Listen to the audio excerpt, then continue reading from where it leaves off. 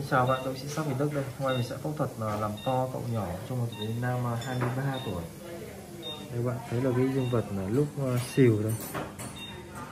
Thì nó được à, 7 phân rưỡi. 7 phân rưỡi bạn. Thế còn đây là cái lúc chu vi 7 phân. Đây các bạn thấy là bạn ấy đã cắt bao quy đầu rồi bạn ạ. Cắt bao quy đầu rồi. Đấy, các bạn thấy là cái cái bao cái đầu của bạn có một cái cái, cái sẹo chân chỉ này rất là rõ nhé.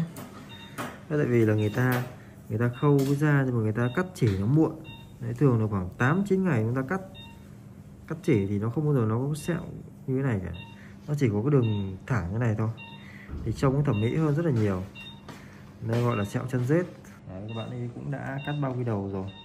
Và hôm nay mình à, đi theo cái đường cái sẹo cũ thôi bạn thấy là nó hơi sưng một chút. Kết quả sau phẫu thuật này trước mổ là 7 phân rưỡi, sau mổ là đây, các bạn thấy là 9 phân cái vòng chu vi này to rất là nhiều.